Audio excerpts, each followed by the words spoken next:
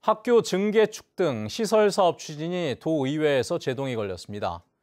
제주도 의회 교육위원회는 행정사무감사에서 제주도 교육청이 제출한 금학초등학교 별관 증개축과 도선 도순초등학교 표선중학교 교실 증축 등 공유 재산관리 계획안 7건에 대해 보통 교부금 감액에 따른 재원 감소 등 재정 여건을 고려하라며 상정 보류했습니다. 한편 통합재정 안정화 기금 설치 개정 조례안에 대해서는 도의회 입법평가위원회 회의 결과를 반영하라는 조건을 달아 통과시켰습니다.